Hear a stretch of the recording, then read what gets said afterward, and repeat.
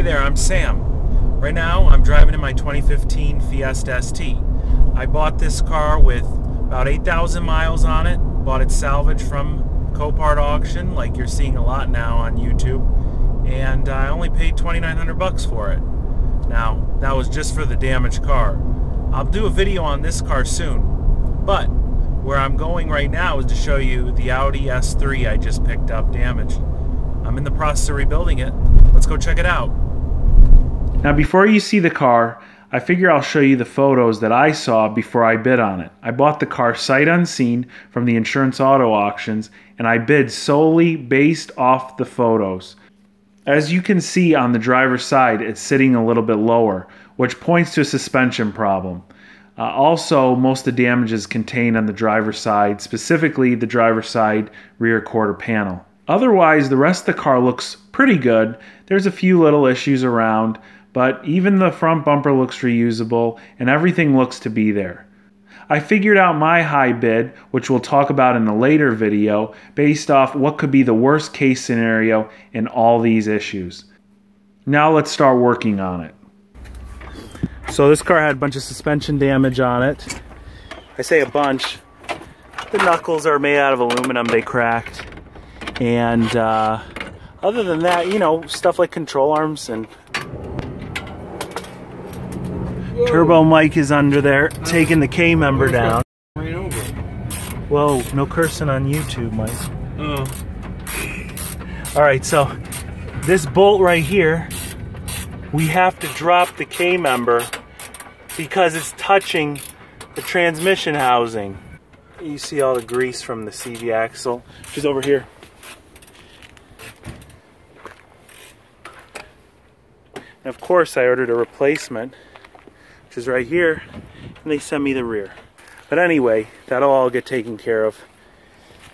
Basically get the control arm out, we got the axle out, and the knuckles out, and then we just put everything back together. So just why you see how they total cars. See this piece right here? Uh -huh. This is a what do you call this, Mike? A wishbone? This thing? Yeah. I guess a wishbone. Uh, a link of some sort. See, Mike's installing the new one right there.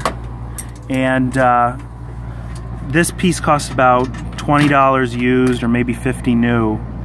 And a uh, new one would come off a car, or a used one would come off a car. Uh, this is what I was talking about, your preload. See how this has play and it falls down? Mm -hmm. So it has to be tightened at a certain point, And then when it's down all the way, this you retighten it. Okay. So that's what we're talking about the preload. Because what happens is, see if this is tight down, mm. it won't have any movement, and then you'll break this bushing. Oh, okay. So it needs to go on just right. But, you'll break as soon as you put the car down. Uh, thanks for messing up my great segment. No, I'm kidding. Um, well, that was a lesson on preload from Turbo Mike, and uh, this is the sort of stuff you see. This like the pink marker.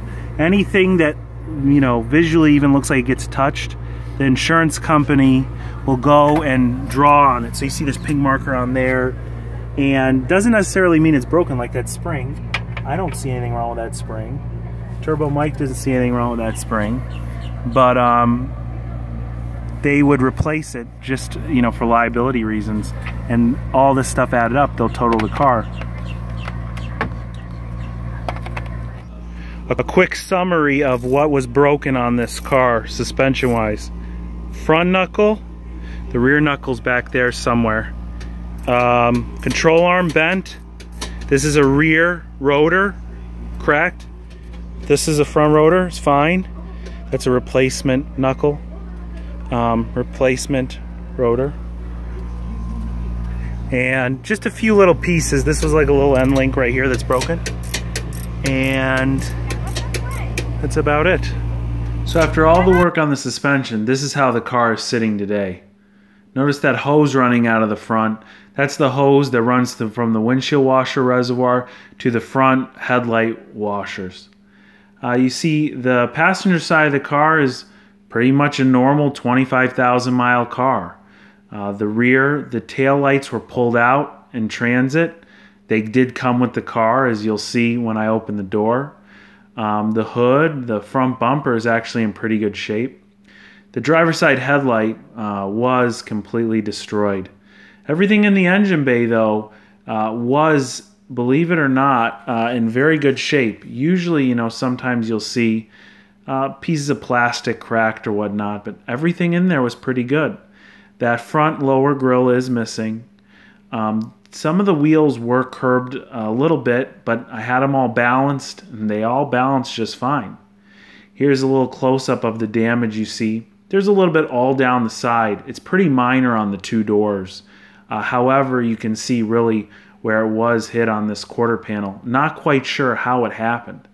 And you could see in the original photos that the curtain airbag was deployed. But one thing you couldn't see, and this is why you always need to expect unexpected things in these auctions, is that the driver's side uh, seat airbag also went off. But other than that, the interior is really clean. Both of those things are replaceable, and the seat can be repaired. And uh, all the electronics seem to work great too. You can see they threw all the spare parts in the back like they do at a lot of these auctions. Well, I hope you liked this video. There's more to come on the S3 and you might be wondering why I'm showing you this Jetta.